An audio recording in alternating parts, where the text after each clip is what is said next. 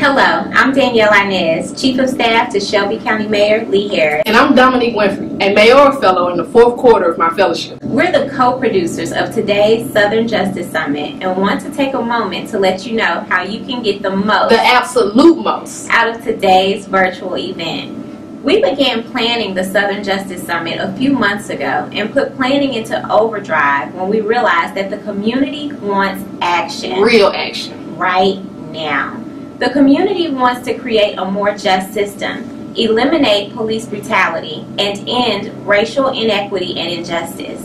That's why today we've recruited six moderators Andre, Frankie, Jessica, Madison, Candace, and Jamal. 19 speakers and one exceptional keynote president, Marc Morial, who you will hear at 1.30. In light of the global pandemic that 2020 decided to dish out, we had to take things virtual.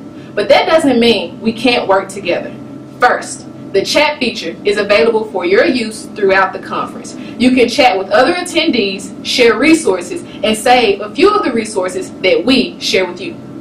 Second, each panel will include a Q&A session. That's right, 15 minutes will be designated for you to weigh in with questions after each panel, as well as the keynote. Just click on Q&A near the bottom of your window and submit your question. The moderators will address as many questions as they can. Finally, we've created a Facebook group so that all attendees can connect with each other. Join us on Facebook at Southern Justice Summit Working Group. Like I said, just because we can't be together in person doesn't mean that we can't connect and grow lasting professional relationships. Dominique, myself, and a couple other team members will be available in each panel. We're also dropping our contact information in the chat window right now to make sure that you can reach us directly if you run into any challenges. Periodically, the moderators will share links to upcoming panels, and you may also access the panel schedules in your summit workbook.